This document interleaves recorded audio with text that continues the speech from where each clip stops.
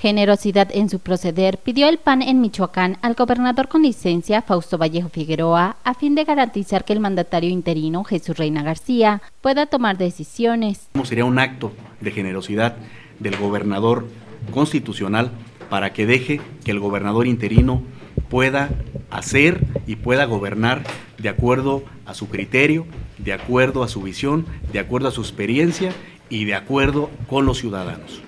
El líder panista Miguel Ángel Chávez destacó que es primordial que el Ejecutivo en funciones establezca un compromiso real con la sociedad michoacana. Por generosidad con Michoacán.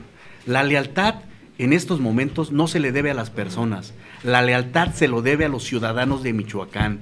Por su parte, Alfonso Martínez, líder de la bancada del PAN, dijo que la responsabilidad de dirigir el gobierno de Michoacán debe recaer en una sola persona para asegurar la estabilidad.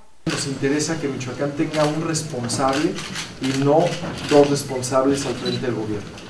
Para los panistas, la toma de decisiones debe ser de un solo gobernante y las intervenciones mediáticas de Vallejo Figueroa no deben producir interferencias. Que no se, se desestabilice la gobernabilidad o la participación de los secretarios de Estado con una llamada telefónica del gobernador constitucional o con algún tuit Diputados y dirigente estatal de Acción Nacional insistieron en que los resultados que genere este interinato deben ser sometidos a evaluación a fin de verificar la viabilidad de las acciones emprendidas. Con información de Fátima Paz, informa Cuasar TV.